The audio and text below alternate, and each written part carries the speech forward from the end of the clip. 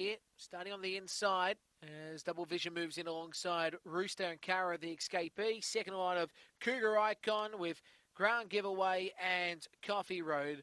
There's the green light. The lure's on the move. This is race number nine. The Swallow Drive meets five wins plus non-penalty set and away. Double Vision began. World Grand Giveaway showing towing goes to the lead. Third posse Coffee Road from Carrick the Escapee. Rooster and back in the tails. Cougar Icon down the back. Grand Giveaway leads by a length. Coffee Road out after it. Then came Double Vision. A break back to Rooster with uh, Cougar Icon and Carrick the Escapee. They go three wide on the turn and the leader's Double Vision is shot clear and Double Vision defeats here Coffee Road. Third spot goes to Grand Giveaway from Rooster. Four next in there in the latter stages by Cara the Escapee and Cougar Icon before it. 23.40 on the race time.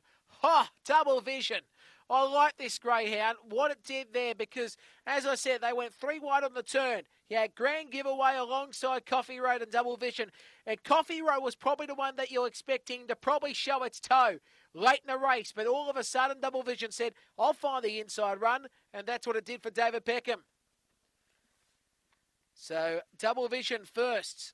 As I said, trainer David Peckham, owned by the Nine of Us Syndicate and it is a black dog from Fernando Bale out of Midnight Elsa.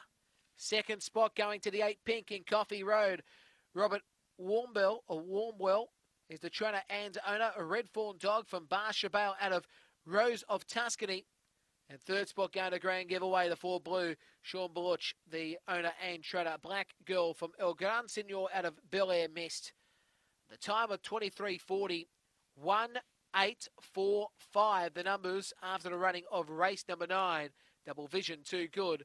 And as we await now for the margins and sections to come up, with the margin reading three and a quarter by half a length, three and a quarter by half a length, and just waiting for that section to come up. But 23.40 was the race time, and the all clear comes through.